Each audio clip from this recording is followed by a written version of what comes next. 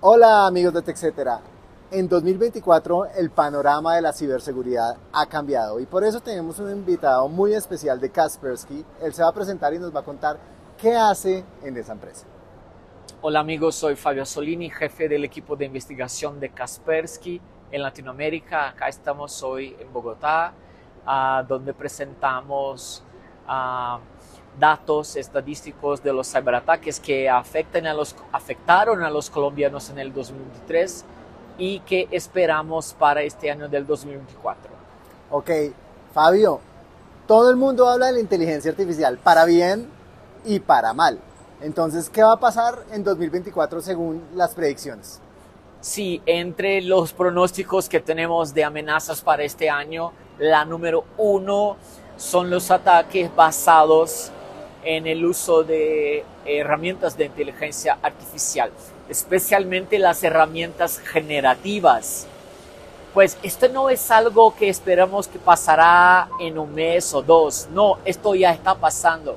Ya encontramos muchos ataques que están utilizando herramientas de inteligencia artificial para generar videos en estafas financieras o incluso para burlar eh, las herramientas de autenticación biométrica usadas, por ejemplo, en la banca. Entonces esto ya está pasando, ya vimos un montón de ataques que están se utilizando de estas herramientas y esperamos que para el 2024 esto se incrementará. Fabio, esto se ve plasmado en deepfakes, por ejemplo, a nivel de video, audio y demás. Así es. Hoy encontramos, ya es bastante común encontrarnos estafas donde toman un video de un reportaje, de, de algo que sale en el noticiero y cambian totalmente el contenido usando herramientas de inteligencia artificial para que la gente crea que de verdad este contenido es verdadero, pero cuando es 100% falso. Entonces, uh, es lo que ya tenemos hoy, pero también ya vimos herramientas de inteligencia artificial usadas uh, para generar videos basados en una foto y de esta forma entonces burlar los procesos seguros usados por la banca. Y hay muchos otros casos donde estas herramientas generativas se la usan para generar ataques de phishing y también uh, para escribir malware de una forma mejor, mejorada. Entonces este uso de la inteligencia artificial crecerá bastante este año. Fabio, ¿qué va a pasar con la banca, que es, por así decirlo, la que resguarda la parte financiera de la mayoría de los colombianos y de personas en el mundo? La banca hay que estar preparada porque a los cibercriminales siempre están buscando formas de burlar y crear nuevas estafas. Es importante que la banca mejore los procesos de autenticación, no solo usando la biometría facial, que ya se puede burlar, es importante que la banca adopte otras formas de autenticación. También es importante que la banca monitoree las amenazas que afectan a los dispositivos móviles, a la banca móvil. Hay un crecimiento exponencial de las amenazas financieras que pueden infectar a nuestros teléfonos. Mientras estábamos en la pandemia, hubo un crecimiento grande uh, de la adopción de la banca móvil por la naturaleza de, la pandemia, donde muchos bancos cerraron y, muchas cosas se hizo en línea. Entonces la adopción de la banca móvil creció mucho y, con esto también las estafas, eh, ataques de malware y, otros ataques direccionados a los teléfonos. Entonces es importante que la banca monitoree estas dos cosas. Fabio, uno de los más temidos es el ransomware. ¿Qué está pasando con el ransomware actualmente? Registramos en Colombia en el 2023 más de 40 mil ataques de ransomware direccionados al país.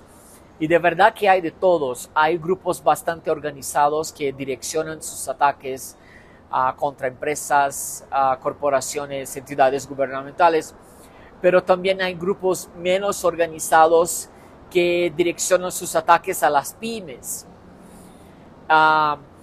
Esta, eh, esta tendencia de ataques continuará porque estos grupos encontraron ahí una forma fácil de atacar a las empresas, robar los datos y forzarlas a pagar el rescate.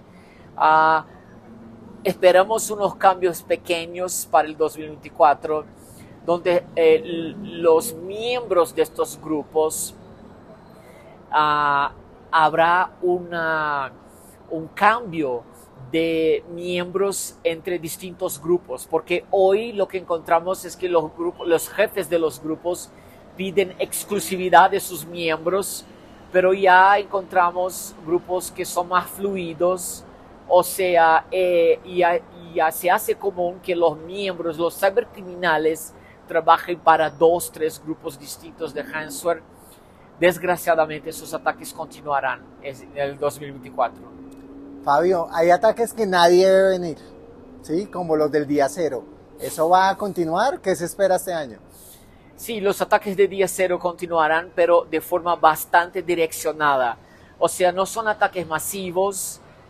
Muchas veces los ataques son direccionados contra grandes empresas y entidades gubernamentales. Uh, nosotros detectamos en el 2023 ataques de esta forma, uh, direccionados a la banca, al sector de defensa y entidades gubernamentales acá en Colombia pero son ataques muy bien hechos, muy bien planeados.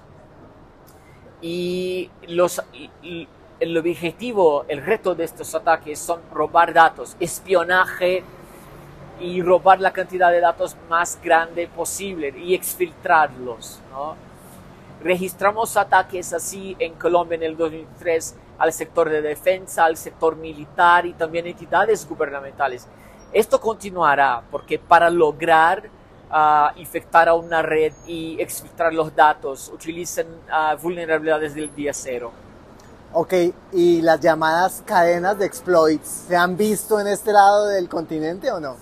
Sí, seguramente. Los cibercriminales hoy son rápidos en explotar vulnerabilidades del día cero o como las nombramos vulnerabilidad del día uno, porque las vulnerabilidades del día cero hay un mercado global donde estos grupos compran estas vulnerabilidades de día cero y cuestan muy caro. Hoy una vulnerabilidad para el iPhone o para el Android uh, cuesta unos millones de dólares. Entonces los grupos que no tienen tanta plata así compran las vulnerabilidades del día 1, o sea, vulnerabilidades que fueron parchadas hace una semana, pero que los administradores aún no tuvieron tiempo de parcharlas y los usuarios más comunes de este tipo de vulnerabilidad son los grupos que instalan ransomware. Entonces es importante a los administradores que instalen los parches uh, el más rápido posible. Ok, ¿y qué va a pasar con el open source? ¿Está seguro o también hay ataques direccionados a este software abierto? Sí, hoy eh, encontramos ataques a la cadena de suministro direccionado especialmente al software open source, el software gratuito, distribuido gratuitamente.